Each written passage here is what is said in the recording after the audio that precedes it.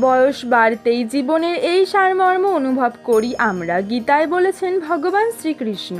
মহাভারতে কুরুক্ষেত্রের যুদ্ধ শুরুর ঠিক আগে অর্জুনকে গীতার উপদেশ দিয়েছিলেন শ্রীকৃষ্ণ। মহারণ শুরুর মুখে অস্ত্র ত্যাগ করে আপনজনদের বিরুদ্ধে যুদ্ধ করতে অস্বীকার করেছিলেন অর্জুন। শ্রীকৃষ্ণ তখন তাকে জীবনের প্রকৃত শিক্ষা দান করেন। এই উপদেশাবলী গীতার বাণী নামে পরিচিত। হিন্দুদের কাছে গীতা অত্যন্ত গুরুত্বপূর্ণ ধর্মগ্রন্থ। প্রতিটি মানুষের জীবনে অন্তত একবার গীতা পাঠ করা উচিত। গীতায় জীবনের এমন কিছু উপদেশ দেওয়া আছে যা সঠিকভাবে মেনে চলতে পারলে আমরা ঠিক এবং ভুলের মধ্যে পার্থক্য করতে পারব। গীতায় জীবনের সব সমস্যার সমাধান বলা আছে। সাফল্য লাভের উপায় দেখানো আছে গীতার বাণীতে। গীতায় মোট আঠারোটি অধ্যায় এবং সাতশো শ্লোক রয়েছে। ধর্মের পথ অনুসরণ করে জীবনে সঠিক কাজ করে যাওয়ার পথ দেখিয়েছে গীতা। বয়স বাড়ার সঙ্গে সঙ্গে প্রতিটি মানুষ একটি বিষয় উপলব্ধি করেন, যা অনেক সময় তরুণ বয়সে তারা বুঝতে পারে না।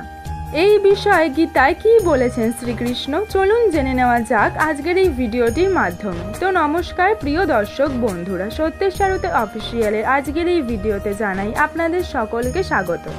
গীতার উল্লেখযোগ্য কয়েকটি বাণী। গীতার বাণী অনুসারে একজন মানুষ যখন বৃদ্ধ হন, তিনি উপলব্ধি করেন যে জীবনে তিনি অপ্রয়োজনীয়ভাবে সারা জীবন সেই সব মানুষদের গুরুত্ব দিয়ে গেছেন, যারা তার জীবনে কোনো অবদানই রাখেনি গীতায় শ্রীকৃষ্ণ বলেছেন যে, প্রতিটি মানুষের নিজের রাগ নিয়ন্ত্রণ করা জরুরি, কারণ রাগের বশে আমরা নিজেদের ওপর থেকে নিয়ন্ত্রণ হারিয়ে ফেলি। এবং রাগের বশে ভুল কাজ করি। বেশিরভাগ সময় আমরা রাগের মাথায় যে সিদ্ধান্ত নিই, তা ভুল হয়। যার জন্য পরে আমাদের আফসোস করতে হয়, তাই যখনই রেগে যাবেন, চেষ্টা করুন নিজেকে শান্ত করার।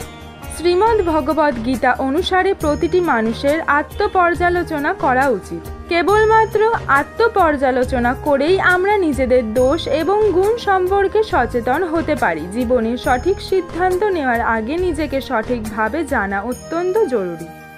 শ্রীকৃষ্ণ গীতায় বলেছেন যে, আমাদের সবার নিজের মনের ওপর নিয়ন্ত্রণ রাখা অত্যন্ত জরুরি। মন যদি আনন্দে অতিরিক্ত উদ্বেল হয়ে ওঠে বা দুঃখে ভেঙে পড়ে, তাহলে সেই ব্যক্তি নিজের কর্মের প্রতি ঠিকভাবে মনোনিবেশ করতে পারবেন না।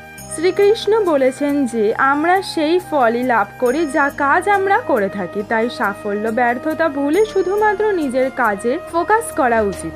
তো প্রিয় দর্শক, বন্ধুরা, কেমন লাগল আজকে আপনাদের এই ভিডিওটি? কমেন্ট করে অবশ্যই বলবেন। যদি ভালো লেগে থাকে তো লাইক, শেয়ার এবং সাবস্ক্রাইব করতে ভুলবেন না।